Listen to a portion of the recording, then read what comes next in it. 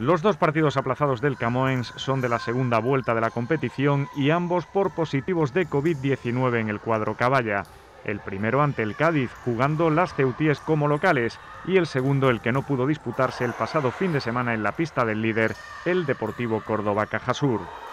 El Hércules, por su parte, tiene pendiente el partido de la primera vuelta ante el Cádiz en el Guillermo Molina por dos positivos en el conjunto gaditano y el encuentro de la segunda vuelta también en la cancha de las Ceutíes ante el Sporting Garrovilla, que fue polémicamente aplazado por el juez único de competición de la Real Federación Española de Fútbol al alegar las extremeñas que no podían ejercitarse con normalidad debido al mal estado en que se encontraba su pabellón de entrenamiento. Pero Camoens y Hércules no son los únicos que tienen partidos aplazados en el subgrupo 3B de la Segunda División Femenina de Fútbol Sala. De hecho, todos los conjuntos que lo integran tienen al menos un partido pendiente. Cádiz y Sporting Garrovilla, con tres cada uno, son los que más aplazados acumulan.